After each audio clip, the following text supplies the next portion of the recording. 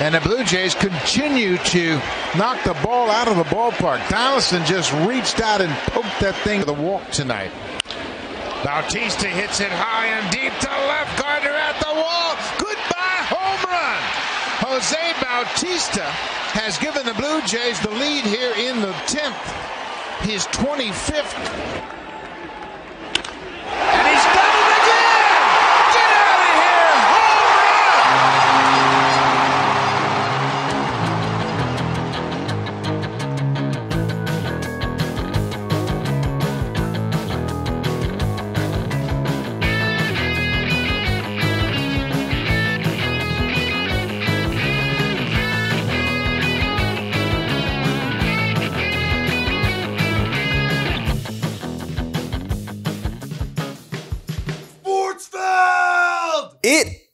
is Sportsfeld Storytime. We are going back. We are talking about the bat flip game. We have danced around it. We did the Kansas City Royals game. We did the David Price start. We talked about Brett Lawrie. We talked about all kinds of stuff, but have not talked about the uh, seminal moment, the defining moment of the 2010s for the Toronto Blue Jays, the moment that sort of came to define the era that comes to define I think a lot of the fandom in uh, around this team in in sort of the modern context and in a lot of ways I think put the Blue Jays back in the consciousness of of fans in in this country and fans in this city. And is the beginning of the team that we see today. This sort of young core with the exciting guys and and uh, that bridge to competitiveness again. Now, five years later, um, this is really a rejuvenating time, and we're going to dig into. I know again, we know we talked about the price trade. I know we talked about the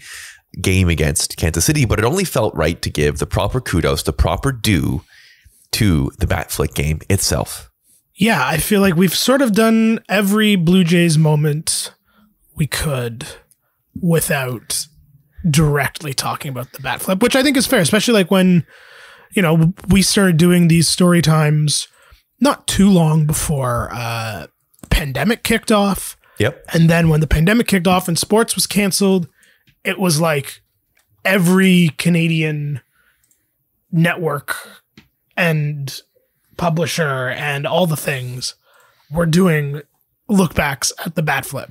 Mm-hmm the statute of limitations on us not doing the bat flip game, I think, uh, has passed. And now we're uh, ready to talk about it. And there's a lot of stuff that, you know, we didn't really get into, I think, in past episodes that I, I really did want to talk about. And again, we, we talked about Brett Lawrie, we talked about last year, the, the 2014 team and, and them um, not loading up. And I think, you know, obviously now having this a bit of distance and, and sort of knowing where this all comes from.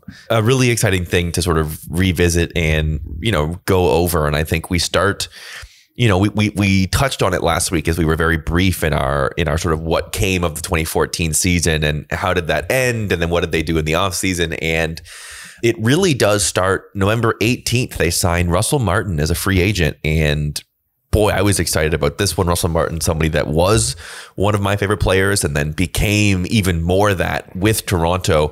If you can remember b- before, uh, you know, 10 days before the Donaldson deal, do you remember sort of where you stood on the 2014 signing of Russell Martin? Yeah, I think I'm going to do the rest of the 2014 acquisitions. The let's call them pre-Donaldson sure. moves I think I'm going to do them a bit of a disservice right now. And I don't really entirely mean what I'm saying, but to me, after the disappointment of 2013 and 14, signing Russell Martin felt like bringing an adult into the room. Right. And, and they talked about they talked about changing the culture was was the was the beginning. That's right, and it just felt like not, and again, this is no disrespect to Mark Buehrle or R.A. Dickey. Always disrespect to Jose Reyes, but that's not what I'm really saying. But like, it just felt like, and I know Mark Buehrle has basically accomplished everything you can accomplish on a baseball field as a professional player.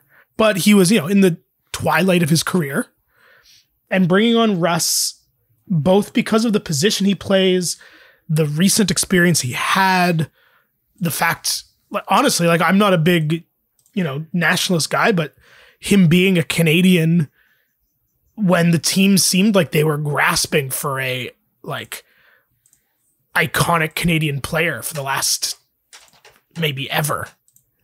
It just felt like it all the cards lined up and it felt like bringing him in was a statement of intent. Mm. I guess. Because as we've talked about many times and I'm sure we're about to talk about many many more times in the 2021 offseason.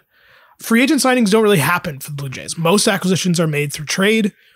Uh, I'm not going to get into the positives and negatives of that. It's just a fact. Mm-hmm. And then signing Russ and him being who he was, it felt like okay. And especially after the trade deadline or lack thereof in 2014, it felt like a, a, a statement of intent, and it felt like a not not quite a mea culpa.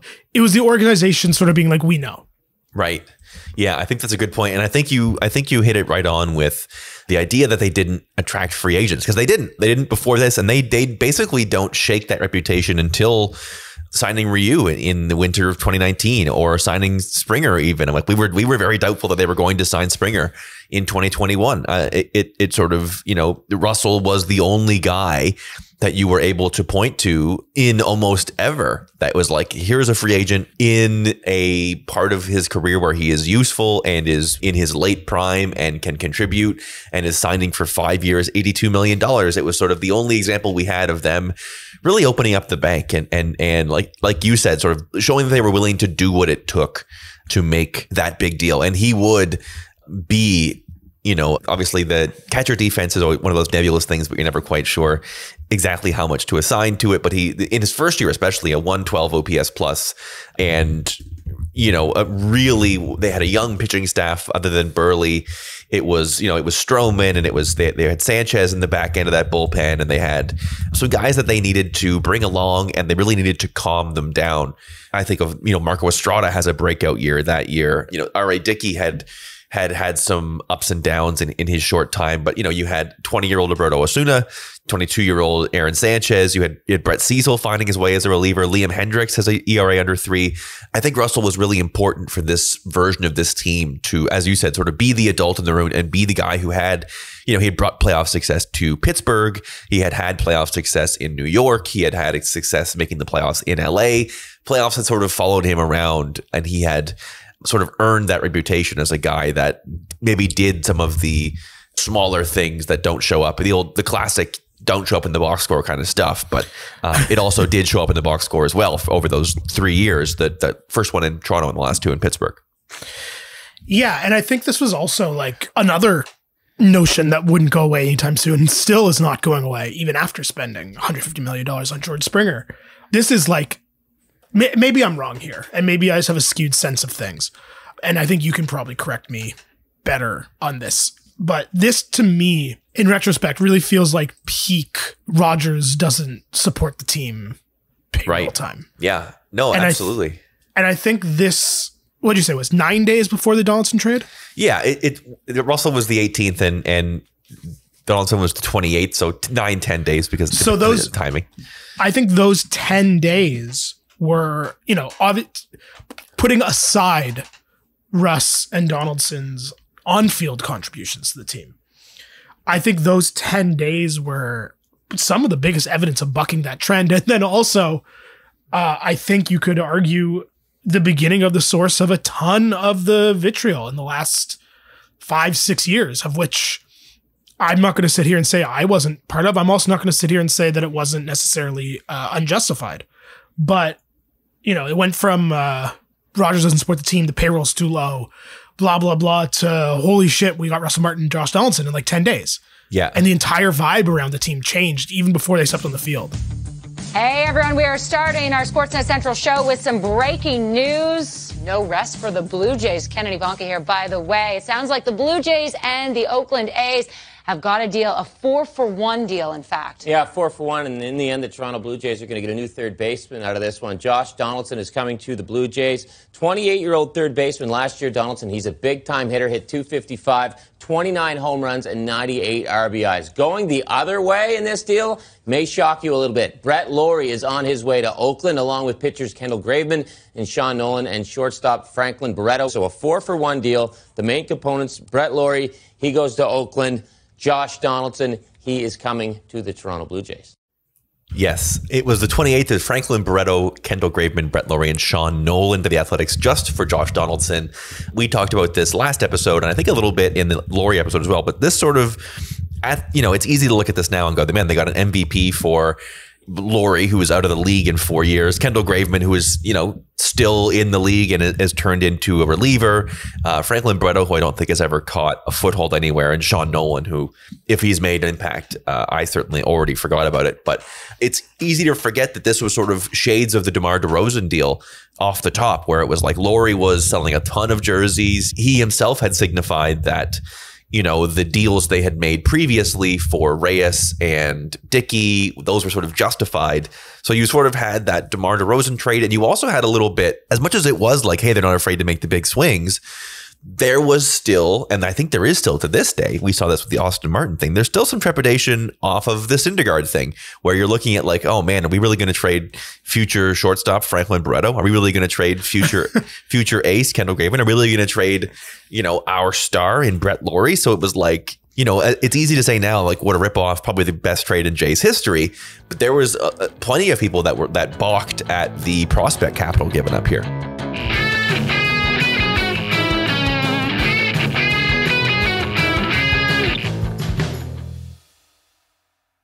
I also, I guess, kind of as a sequel maybe to uh, the last story time we were talking about uh, the Syndergaard trade.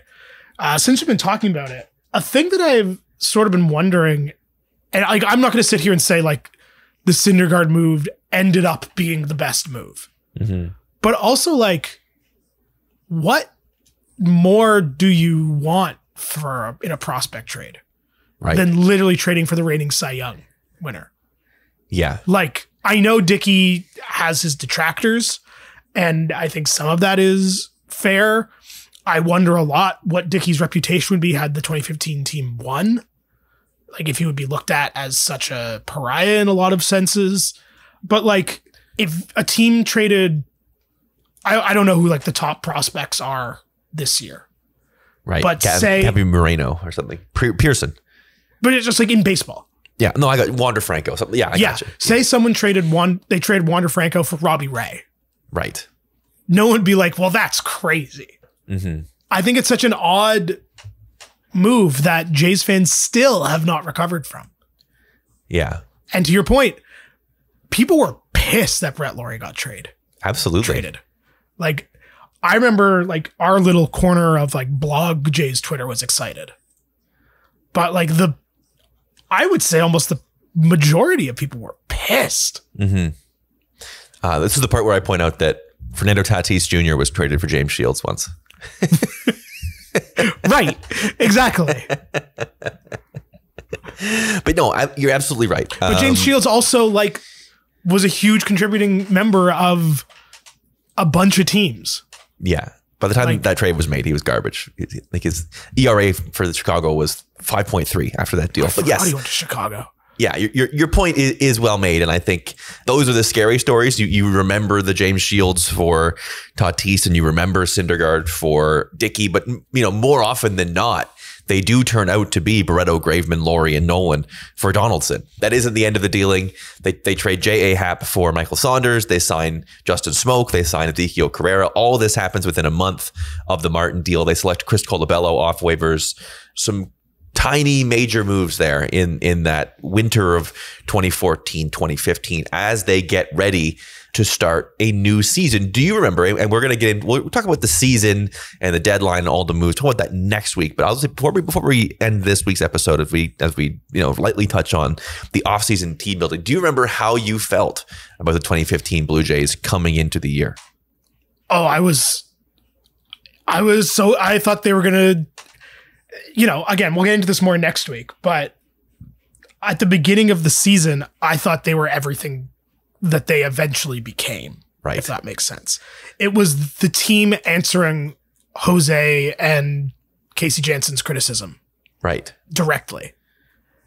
And I, it was it's also funny to look back at the beginning of the season thinking about who we were excited for. Like I thought uh was it Miguel Castro? Uh, thought- yeah. I thought Miguel Castro, was going to be was going to be uh, like the lights out closer for the next decade. Right. Yeah. I thought Castro was the guy and Osuna was going to be the like helpful bench, like, Yeah, 100%. helpful reliever, but it ended up being Castro is the, I mean, I think right now you'd rather have Castro in, in 2021, but Well, yeah. uh, yeah, he had that Rather have a bag of rather a bag of balls than Bruno that nasty slider. And you, and you forget, you know, Marcus Stroman had had, uh, Oh, the injury. How 20 can we he had 20 starts the year before with a 3.65 and it was like Stroman's going to be the ace to lead this staff because he had come up and looked so good and then he stepped on a sprinkler head in spring training I will say, obviously, this was, you know, it just contributes to the legend of 2015, and obviously it worked out okay in the end. But Stroman's injury day was like one of the lowest moments as a Jays fan for me. yes i got broken up with that morning That's right. That's right. and we did that- probably the worst Sportsfeld ever Yep. we sat at your kitchen table and i it, we, we used the yeti that has the unidirectional and we only turned one of the directions on so like one of us could barely be heard and i was like mumbling into my chest i remember yeah that was so right it, it was such a such an extreme high to an extreme low of, of feeling like they had the talent and as you said I think you said this last time that like the thing that the 2014 team was missing was like Brett Lawrie being Brett Lawrie. If him being, if he had been the guy to live up to the promise and not the guy that continued to get hurt and couldn't shake the tendencies that he had that ended up with him constantly being injured, if they could just fix that, then the the things they wanted to address would be addressed. And uh, you are right that certainly adding the 2015 American League MVP uh, addressed that and more, and certainly gave them the attitude, turned it to, turned it into get it done league, which uh, lives on in infamy from here on out. That was the part that I didn't expect. I think. Yeah, yeah, absolutely.